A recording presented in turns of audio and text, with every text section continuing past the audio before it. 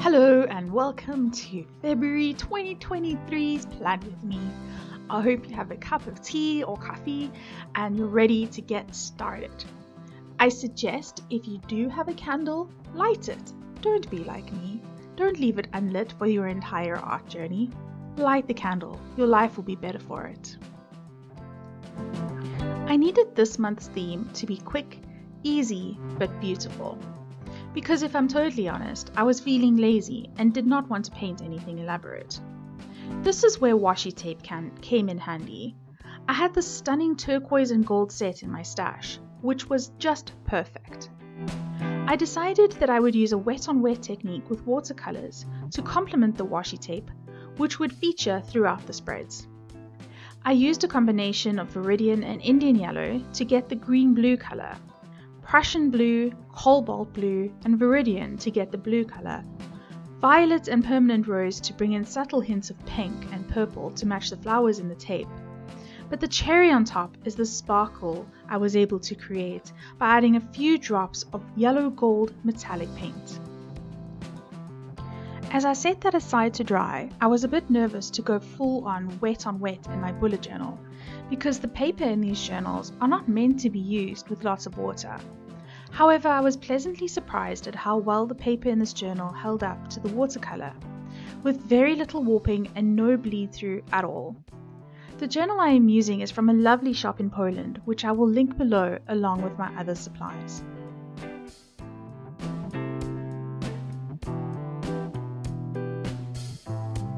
Quote I chose for this month is Blossom by Blossom, the spring begins. This quote has many meanings for me this month and is a reminder to myself that there is always hope and that spring always comes after a winter. And on that cliched note, I'd like to thank you for coming to my TED Talk.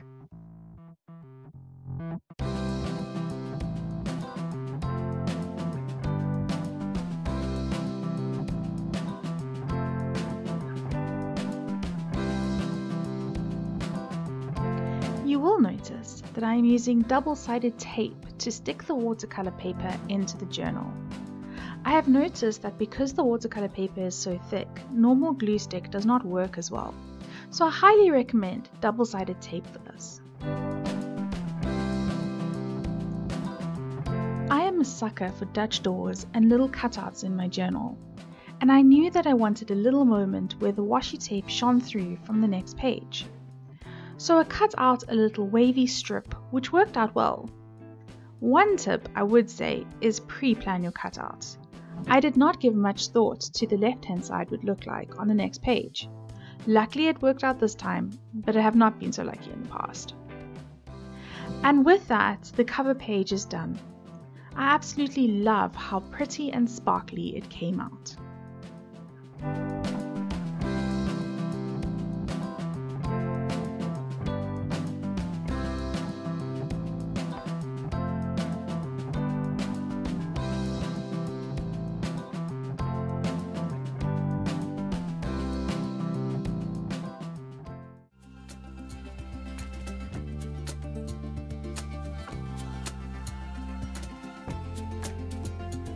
The next spread is my monthly calendar planning spread. Here I always create a giant calendar so that I can see at a monthly glance what I have on and plan out my time accordingly. And this is also where your annual calendar view comes in handy to ensure that you're setting up the month correctly and to carry over any important events once the page is set up.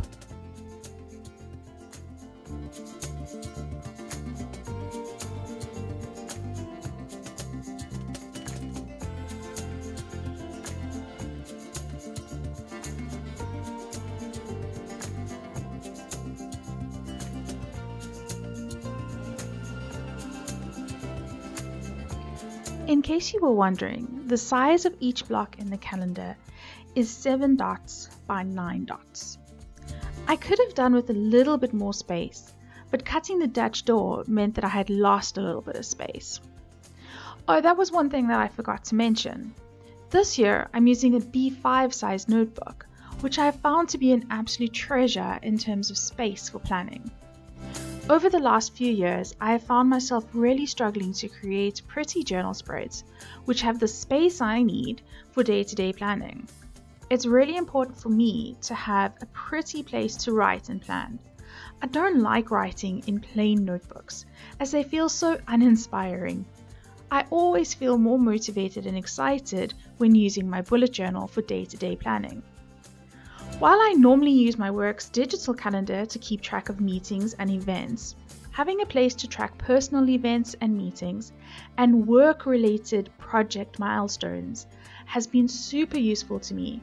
And I'm finding that this slightly larger notebook is giving me the opportunity to create something pretty, but still afford me the space I need for planning.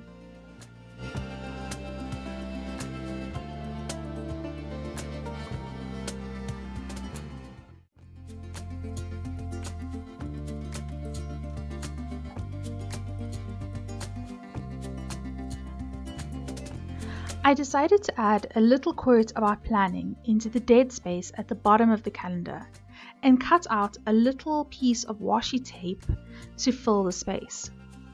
I'm not sure that worked out too well, to be honest.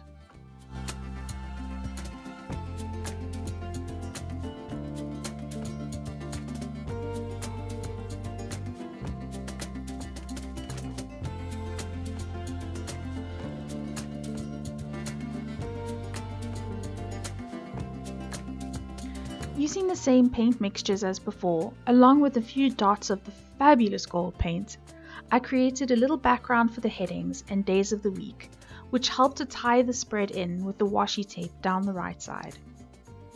All the headlines are written using a Posca Gold paint pen, which is my new favorite pen. I want to write everything in gold.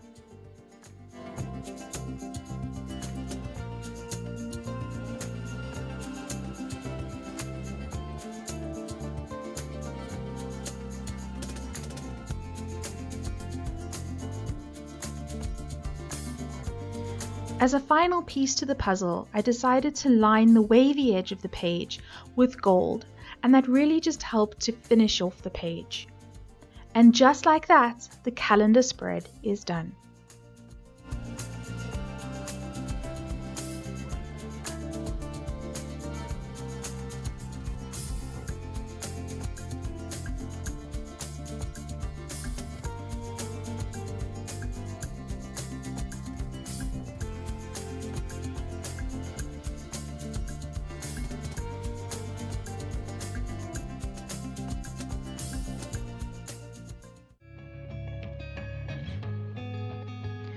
An important part of keeping myself accountable and reaching my yearly goals is creating a monthly and daily action plan. This plan is targeted towards a goal which I have set at the beginning of the year, essentially breaking it down into bite sized, achievable chunks. I use my monthly goals and habit tracking page to monitor this progress. The goals outline the three or four big goals that I want to achieve this month, and the habits are the small daily or weekly steps I want to implement to help me reach these goals. Many mistakes were made during the making of this page, but one thing that I love about bullet journaling is that it really doesn't matter, and that no one mistake is not fixable. And if it really isn't fixable, an example of this coming up in a moment, then embrace it. Life is messy, and that is okay sometimes too.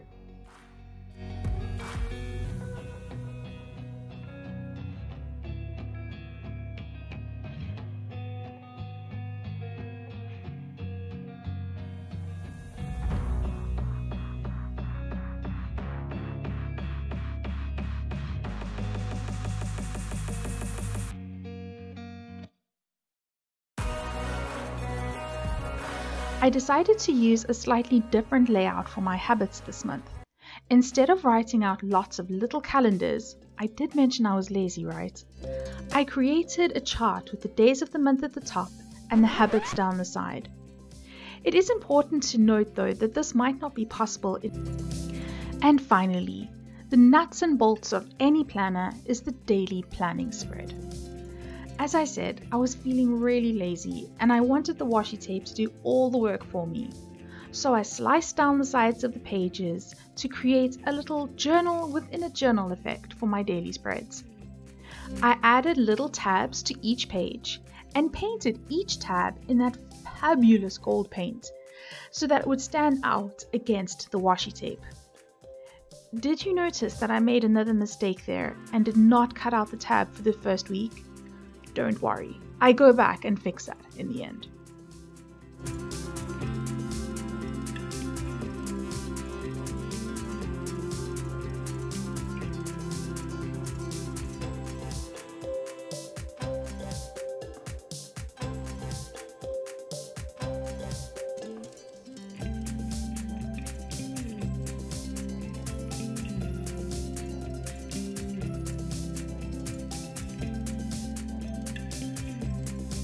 I mixed some more watercolor paint in the same ratios as before to paint the blocks for each day of the week.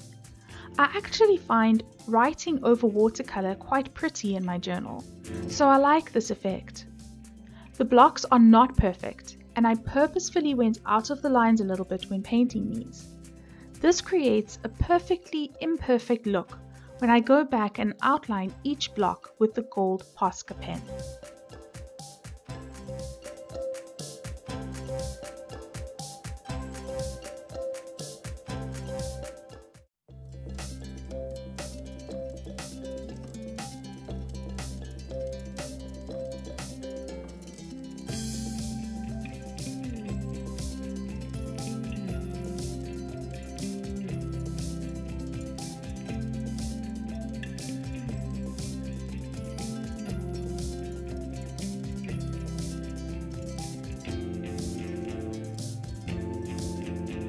As you know, there are seven days in a week, but for symmetry I had created eight blocks. I decided to add a stamped flower to this block. Although I have some space for notes down the left hand side, a kind of brain dump site if you will, if I need week specific notes, I will write these over the gold stamp. And this is me trying to decide how I'm going to attach that left out gold tab to the page. I decided to stick it down with some thin washi tape, so which I added to the right hand side to hold the tab and then needed to add it to the left hand side to balance it out. All in all, it really came out well and I'm actually really happy with the effect of this final page.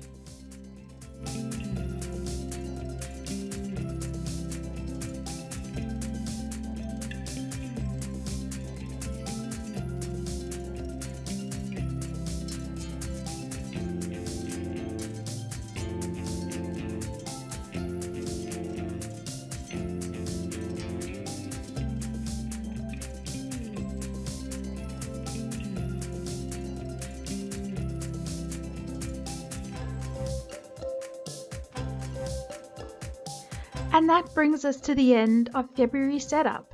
I hope you enjoyed this. I hope that the gold and the sparkles bring you as much joy as they do me. I can't wait to use this through the month of February. I know I'm going to love every day when I open my journal to fill it in. Happy planning, and we'll see you next month.